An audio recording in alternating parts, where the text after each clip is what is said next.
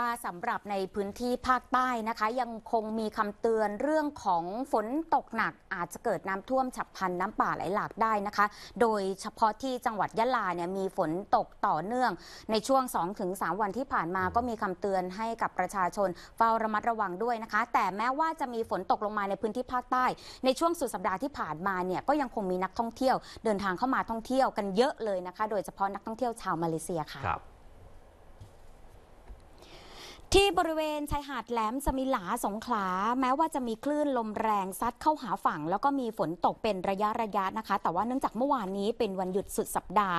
จึงมีนักท่องเที่ยวชาวมาเลเซียเดินทางเข้ามาท่องเที่ยวเป็นจำนวนมาก ในขณะเดียวกันร้านค้า ร้านอาหารริมชายหาด ก็มีนักท่องเที่ยวชาวมาเลเซียเข้ามาซื้ออาหารประเภทกุ้งทอด ปูทอดกันอย่างเนืองแน่นเลยทีเดียว รวมทั้งร้านขายเสื้อผ้าและของที่ระลึกก็มีนักท่องเที่ยว แวะเข้าไปเลือกซื้อสินค้ากันอย่างคึกคักเช่นกันค่ะ ก็เลยทำให้บรรยากาศการท่องเที่ยวของจังหวัดสงขลาในช่วงฤดูมรสุมตะวันออกเฉียงเหนือ ที่มีคลื่นลมแรงและมีฝนตกไม่เงียบเหงาอย่างที่คาดการกันไว้นะคะ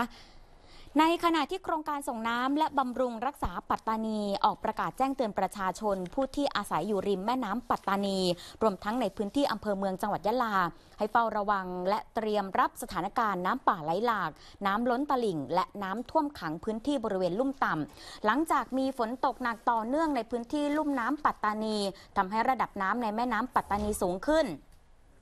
โดยปริมาณน้ำฝนสะสมที่เขื่อนปัตตานี 104.2 มิลลิเมตรในพื้นที่อำเภอยะหา 58 มิลลิเมตรและอำเภอเมืองจังหวัดยะลา 61.80 มิลลิเมตรค่ะ ก็คาดว่าหากว่ายังมีฝนตกอย่างต่อเนื่องแบบนี้นะคะ ระดับน้ำก็จะเพิ่มขึ้นอีก จึงขอให้ประชาชนเฝ้าระวังไปจนถึงวันที่ 8 พฤศจิกายนนี้ แล้วก็ขอให้คุณผู้ชมนะคะ ติดตามข่าวสารการแจ้งเตือนอย่างใกล้ชิดด้วยค่ะ